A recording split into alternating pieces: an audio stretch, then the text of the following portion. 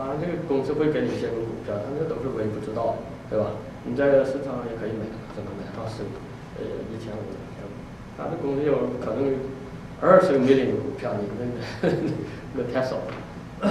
那么你要真想做一个就比较多的呃 share，就是真要有多的 share 的一个公司，你必须是一个开创公司、创建公司，那么可能会。我那时候已经在想，呃，只是还没有机会。